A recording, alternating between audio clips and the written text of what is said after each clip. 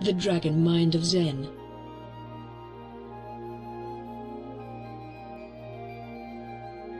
The Dharma Wiz of Oz.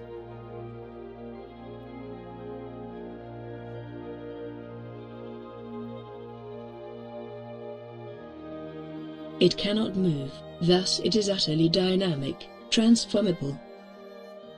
It acts on your command and hence the unborn mind mantra, what the mind focuses on determines its reality, proves itself at each breath or at each image you glance upon or madly desire. If you decide to make a simple assertion or even utter a sudden curse in your mouth, you have transformed it and manifested it as an empty image devoid of the unborn mind essence. This is indeed a miracle in itself, yet as you have used it so much as you use those ordinary daily things, thoughts and desires, you take this for granted and thus cannot learn more from the simple process of initial conception and final manifestation. Like Dorothy in The Wizard of Oz, this self-realization is not attained by one large jump leap, but rather through those small steps along the yellow brick road until the dawning of that perfect insight, which leads to increased faith in the great, emerald pearl, of the unborn mind. Thus, only through trial and error will one discover the right path home to the undiscovered country of the unborn.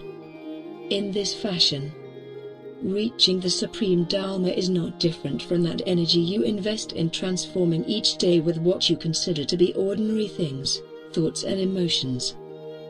You just turn about the awareness of mind on the essence itself and study it.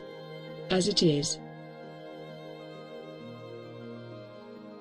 If you study it as such, in the years to come it will reveal truths beyond your wildest imagination for it is itself the active dynamis and animus of all imagination.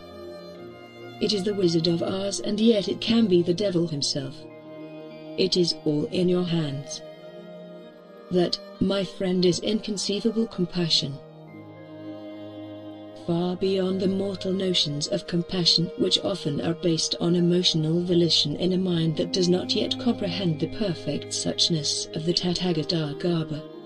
Your true, unborn home.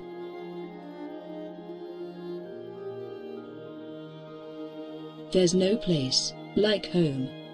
Tozen.